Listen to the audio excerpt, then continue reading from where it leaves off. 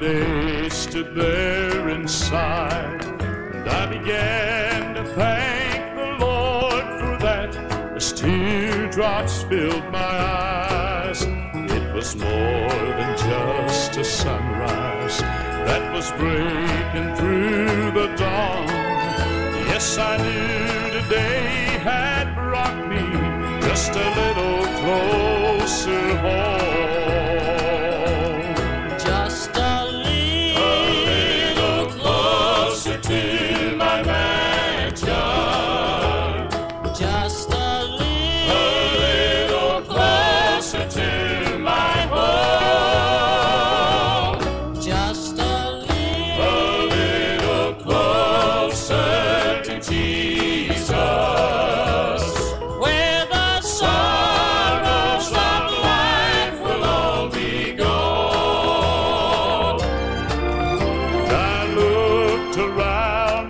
And listened as I stood upon the ground.